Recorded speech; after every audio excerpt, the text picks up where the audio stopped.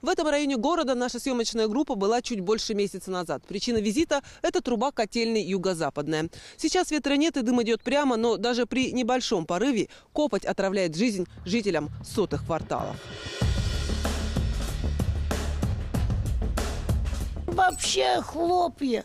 Огород весь черный. Растения посадишь, все сверху покрывает. О- Вон, вон, и ушел, вон он. И это 105 104 квартал. Их заваливает. Животные все он грязные, как, как черти бегают. Если ветер еще в нашу сторону подует. Так что пускай ставят фильтр. А вы думаете, что проблема в фильтре, да? Ну а в чем? Я не знаю, не разбираюсь, я же там в этой сфере не работаю. Что там может быть? Идет дым, да идет. Проведем небольшое сравнение. Вот чистый белый лист бумаги. Примерно такого же цвета должен быть и снег. Но здесь, в сотых кварталах, свою цветовую гамму он меняет. Сажу видно невооруженным глазом. Интересно, почему же измерительные приборы ее не могут уловить? А вот природоохранная прокуратура слабое звено уловила и выписала предписание.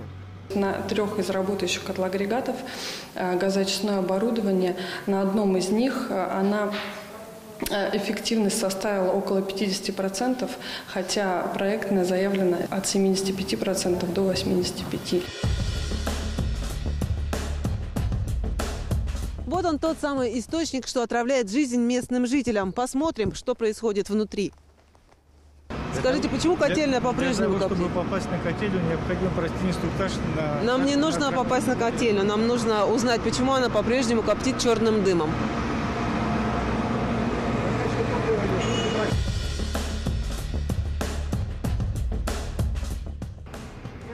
Инженер? А почему он ушел, э, обещал что-то сказать, развернулся и ушел? Инженер котельной юго-западной отвечать на наши вопросы отказался, поэтому обращаться нам придется в ТГК-14. А если и вы не можете дышать полной грудью из-за нерадивого соседа, звоните дежурному по городу. Напомним им о современных технологиях вместе. Ольга Арсунукаева, Виктор Немаев, телекомпания «Оригус».